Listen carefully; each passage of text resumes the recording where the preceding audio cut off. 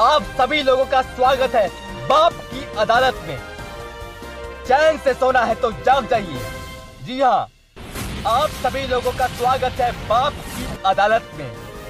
आज हम बात करने जा रहे हैं बाबा राम रहीम और हनीप्रीत के बारे में। कि कैसे हनीप्रीत ने बाबा राम रहीम को चूतिया बनाया। हाल ही में हमें अपने सूत्रों से पता लगा है कि बाबा राम रहीम ने हनीप्रीत का भी रेप किया था।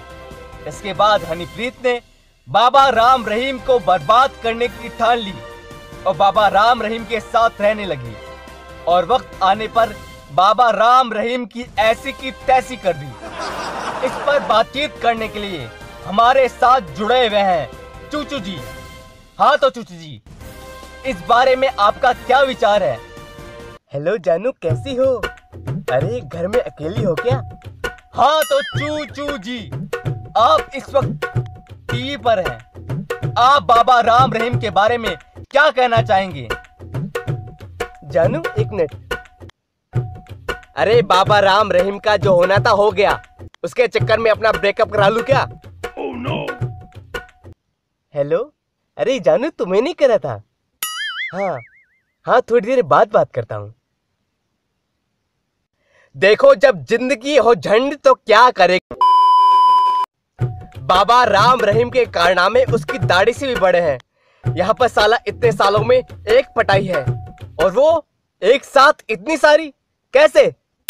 खैर, इस बात पर और अधिक विस्तार से बात करने के लिए हमारे साथ जुड़े हुए हैं मिस्टर चड्डा जी। हाँ तो मिस्टर चड्डा जी, आप इस बारे में क्या कहना चाहेंगे? देखिए हम तो यही कहना चाहेंगे कि बाबा राम रहीम ने जो भी किया, वो अनुचित है। और हनीप्रीत के बारे में हम क्या कहें? अरे, आप तो शर्मा गए। खैर, इस बात पर और अधिक विस्तार से बात करने के लिए हमारे साथ मौजूद है पिछवाड़ा गाँव से मिस्टर सुसी लाल। हाँ तो सुसी लाल जी, आप इस बारे में क्या कहना चाहेंगे? अरे भाई जो भी हुआ मैं नहीं पता। लेकिन बाबा राम रहीम के कारण हमारा धंधा चौपट हो गया भाई।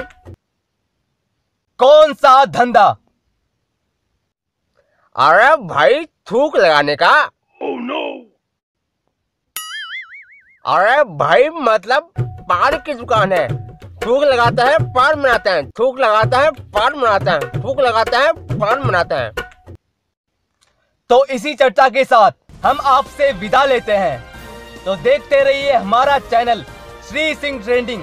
और हाँ हमारे चैनल को सब्सक्राइब करना ना भूले। अरे भाई तो इस चैनल को लाइक और सब्सक्राइब कीजिए, ताकि हमारी वीडियो सबसे पहले आपको ही मिले।